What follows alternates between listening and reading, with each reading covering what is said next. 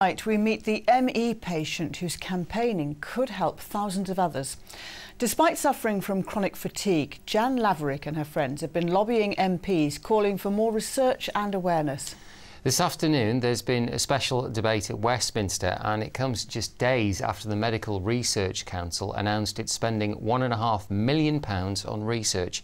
Claire Montgomery reports very upset, but it's frustration. Jan Laverick's symptoms are so bad she spent most of the last few years in her bedroom. She invited us in to help raise awareness about ME.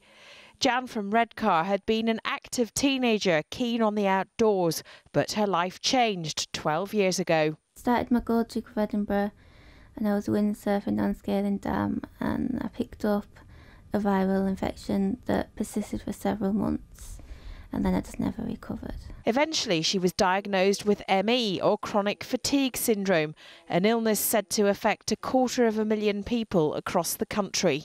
Just feels like having a bad cold or the flu all the time, um, mixed in with sort of dementia type symptoms. I can't remember stuff, um, can't think straight, and then there's a neurological twitching, and there's a lot of pain, nerve pain, and muscle pain as well so frustrated by what they see as a lack of medical research into the condition and support for those with it.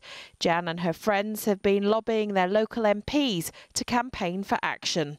Late yes, this afternoon, her own MP, the Lib Dems Ian Swales, led a uh, special debate. I was delighted to see that two, and I'm sure it's just a coincidence, that two days after this debate was announced, indeed, the Medical Research Council did announce one and a half million for further research into ME.